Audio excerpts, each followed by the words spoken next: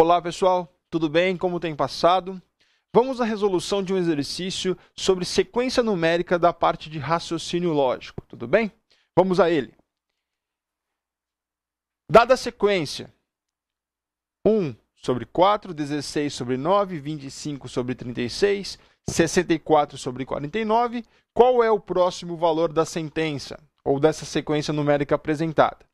Se observarmos com atenção, todos os números que estão aqui representados, todos os valores, são quadrados perfeitos. Então, todos os valores são quadrados perfeitos.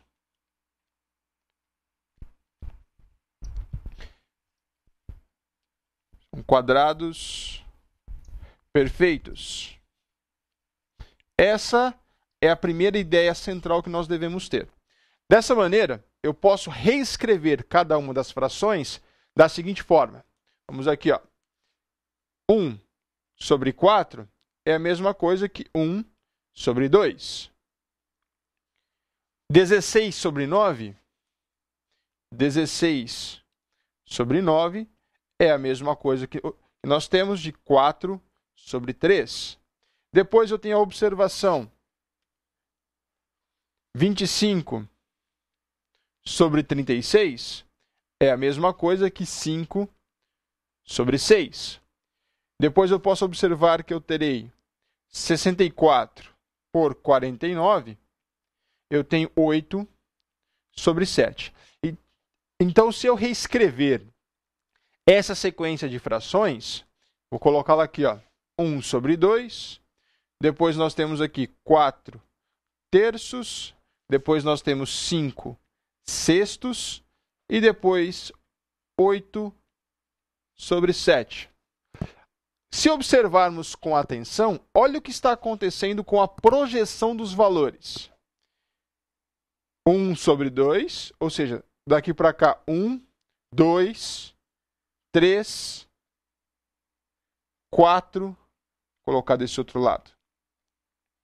4, 5, 6, 7, 8. Então, para continuar a sequência, o próximo numerador deve ser o 9.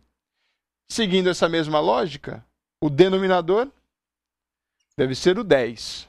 Então, eu sei que lá da sequência apresentada, os valores aqui devem ser o quadrado perfeito, devem corresponder ao quadrado perfeito da fração 9 sobre 10. Então, elevando 9 sobre 10 ao quadrado, eu tenho 81 sobre 100. Aí eu volto na relação e observo que, dentro da equação, dentro da projeção, 1 sobre 4, 16 sobre 9, 25 sobre 36, 64 sobre 49 e o último termo da relação apresentada, 81 sobre 100. 81 sobre 100. Então a gente observa nesse exercício, pessoal, que dentro da sequência numérica nós temos que observar qual é o padrão desenvolvido e qual é a relação utilizada para a utilização e assim descobrir qual é o valor que está ausente na sequência. Em algumas situações, vocês podem partir da sequência que existe entre os primeiros valores ou até mesmo entre os últimos. Tudo bem? Espero que tenham gostado, espero que tenham compreendido. Nos vemos numa próxima vez. Um abraço, tchau, tchau.